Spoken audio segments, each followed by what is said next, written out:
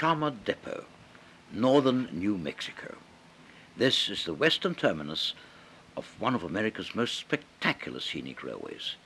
It's crisscrossing two states and is 64 miles long.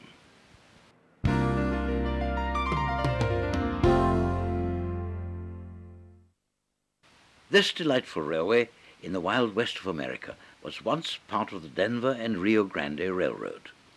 The line from Antonito to Chama was completed in 1880. Durango and the mining town of Silverton was reached in 1881. The town Chama soon grew up around the railway. Little has changed in 120 years. The town is now a magnet for those wishing to experience a gentler form of transport. It's reliant on the train for its tourism.